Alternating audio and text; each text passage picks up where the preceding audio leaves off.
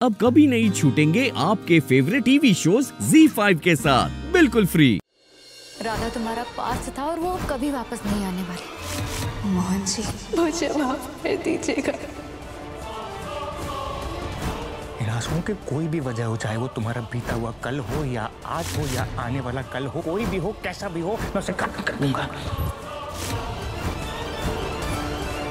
आग लगा दूँगा अगर किसी ने भी मेरी राधिका के आँखों के अंदर आँसू लाने की कोशिश की